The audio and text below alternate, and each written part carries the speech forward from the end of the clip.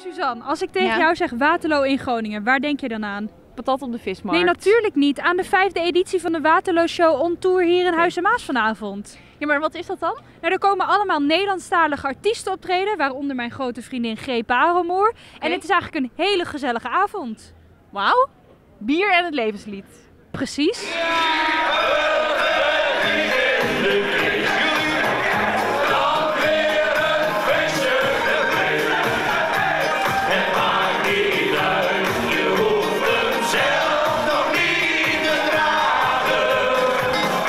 Te dik in de kist dan een feestje gemist. Dat is het lijflied van mijn collega Roeland van der Schaaf. Dus hij stond erop dat, hij- dat wij dit gingen Oh, en zingen. waarom is dat zijn lijflied dan?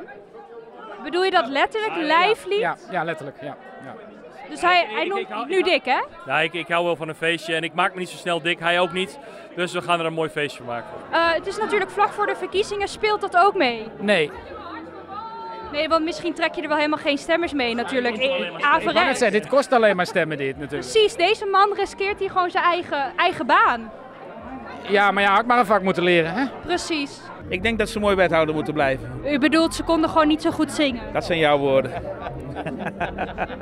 Zijn jullie vader en dochter? Eh, nee. Eh, nee? Nee. Nee, nee. Wat dan? Ze lijkt niet eens op me. Nee, jullie lijken niet op elkaar. Nee, dat klopt. Nee. Nee. Ze, ze, Aisha is mijn achterbuurmeisje. En Oké. dan ben je een vriendinnetje van mijn, eh, van mijn dochter. En hoe zijn jullie er dan op gekomen om samen te gaan zingen? Dat is allemaal op zijn singlepresentatie gebeurd.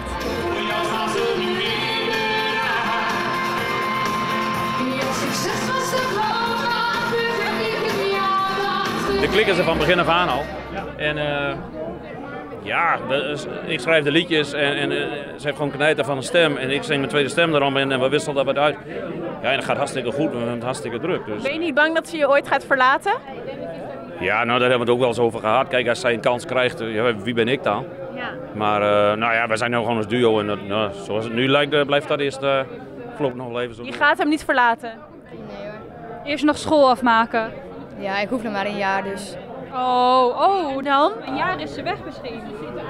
Ja, en dan wil ik eh, graag kraamzorgster worden. Hoe, ben je er nooit een keertje zat van, van dat geoeter? Nee hoor. Nee. Jongen, hoe lang, dit, hoe lang geleden had je deze hit? Nou, bijna al negen jaar. Negen jaar?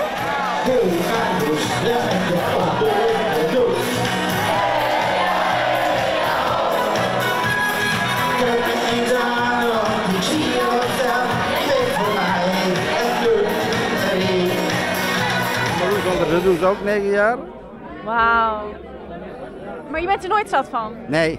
Dat altijd een feest. En ze slaan ook nog altijd aan, hè? Ja, al negen jaar lang. Maar met wie zou je nog eens een keertje een hit willen maken? Nou, met iedereen wel hoor. Je bent niet zo kieskeurig. Nee. Ja, met Frans Bauer. Ja, Frans Bauer. Nou, er ligt nog een hit. Die willen ze niet uitbrengen. Oh, vertel. Ik weet niet waarom. Nou, wat denk je? Nou, mijn opa heeft een optreedwagen. Je opa heeft een? Optreedwagen. Wat is dat? Nou, dat is een, een toerwagen die, eh, die kan toeren langs de kermis. Oh, en daar heb je een hit over geschreven. Nee, die, die heb ik wel in mijn hoofd, maar ze wil hem niet uitbrengen. Kan je een stukje ervan zingen hoe dat gaat? Nou, mijn opa heeft een optreedwagen. We toeren langs de kermis. Hey, ja, hey, ho. Ja, volgend jaar word ik 50 en dan komt er... eh, ik ben met een... eh, ik, hier, zit, hier achter deze bril zit een plan voor een heel groot artiestenfeest. Oh, wauw. Dan nodig Frans Bauer uit. Ja? Dan wil ik Jannes uitnodigen. Jannes. En een hele grote vriendin van Willem Kruid, Corrie Koons.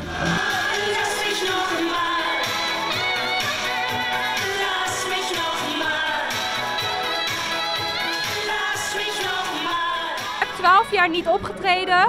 Niemand weet waarom. En opeens was je hier vanavond. Ja, dat klopt helemaal. Omdat ik met eh, mijn comeback bezig ben. Het is eigenlijk een beetje mijn dochter haar schuld. Schuld, haar schuld, haar schuld. Ja, ja, ik vind het een heel groot woord, maar zij heeft mij gewoon echt dat drukketje in de rug gegeven van... Nou mam, doe het, want het is iets wat je heel erg leuk vindt. Waarom nu in het Duits? Eh, het is al een van mijn eh, oudere nummers. Die is al eerder uitgebracht. Ook op deze manier? Ook op deze manier. En ehm, normaal gesproken had ik mijn nieuwe nummer wel gedaan, maar die komt pas in december uit. En van wie bent u fan van vanavond? Ik weet, ik, ik, ik weet niet eens wie er allemaal komen vanavond. Maar één iemand. Je bent, bent toch wel één iemand, bent toch een beetje fan? Is Jannes erbij vanavond? Jannes.